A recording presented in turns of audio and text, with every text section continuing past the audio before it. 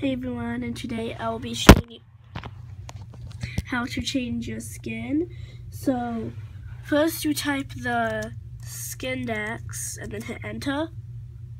And then you hit the first link. And then it will bring you to this. So, let's say I wanted to be, huh, like let's say if you wanted to be yeah just type in the skin you want. So I want a girl so typed in girl. So and a bunch of girls pop up as you can see here. Like let's say that I wanted huh say that I wanted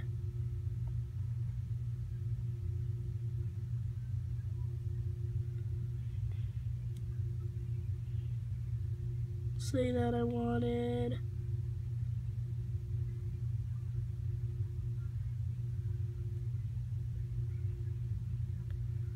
Huh.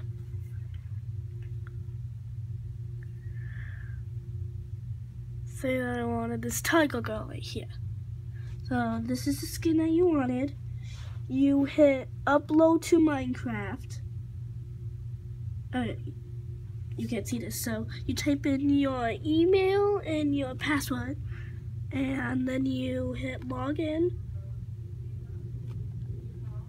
and then you either choose if your arms want to be skinny or fat. Steve is fat and and Alex is skinny. So I want it. I want it skinny, so I do Alex. And then you hit change.